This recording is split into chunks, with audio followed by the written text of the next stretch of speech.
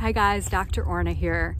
This morning I saw an article that a friend of mine posted saying that a lot of people who have their life's work being about plants don't know how to identify plants.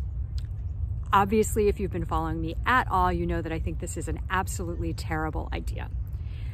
This is coming from a shift in botany away from identifying plants by observable characteristics, stuff that you and I can see, and shifting to DNA analysis. Now, that can give us some really cool information, but it takes away from the lived experience and we shouldn't lose that because I think that that just increases our enjoyment of the world and of being out in it. But there are three specific reasons that I think it's really important that everybody should be able to do some basic plant identification. So number one, botany saves lives.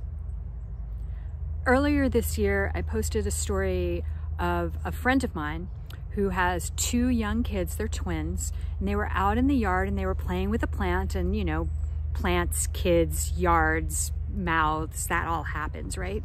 And so she saw them playing with the plant. She's like, oh, my cute kids. Oh, my cute kids playing with plants. Yay, plants. What is that plant? Oh, I know that plant. That plant is a poison plant. No, no, no, no plants in mouths. And she dug the plant out of her yard so that her kids would be safe from it important. Botany saves lives. There are also plants that can look very similar and until you start looking closely, you can mistake a poison plant for a productive plant. So a classic example of this is the carrot family, which has some of our most important foods, carrots, some of our most important medicines, and also some of our deadliest poisons. So just having the tools to be able to discern this is a little different or do I actually know what this is, I think is super important. Number two reason to be able to identify plants. You know I've talked about this all year, that it's important to love the plants you're with. So this year we saw um, supply chain disruptions and things that we might have wanted to get, we couldn't get. And so having the tools to rely on the plants around you, I think is really important. And if you don't have a positive ID, you are taking a risk. So see point number one, botany saves lives. I also think that aside from it just being more enjoyable to be able to identify plants, I'm in my park and there's people walking by with dogs. So it's not just more enjoyable, but it sort of grounds us in the place. So you go out to the park like this and you look at the trees and you can say, oh, I know you, I remember you. And it just deepens our experience of place. And even if you're in a place that you don't necessarily love, it, it gives you something, I think, to enjoy about that place. Reason number three, Herbalists have friends wherever we go. Once you start learning plants and being able to recognize plant characteristics and start to identify plant families and genuses, everywhere you go, you start to see plants that you know or that look like plants that you know and may be related.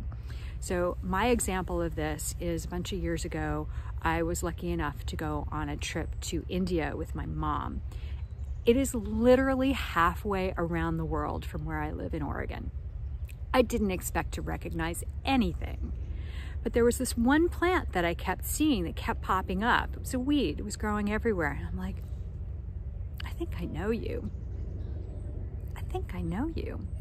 And finally, I was able to determine that yes, in fact, this was a plant in the Asclepiadaceae family, probably an Asclepias, which is related to plants that grow native here and that are familiar to many of us, both as ornamentals, as food for monarch butterflies. It's um, one of the Asclepias species is called butterfly bush sometimes because it's food for monarch butterflies, and also important medicine. Asclepias tuberosa is a classic herb used for lung stuff in specific circumstances.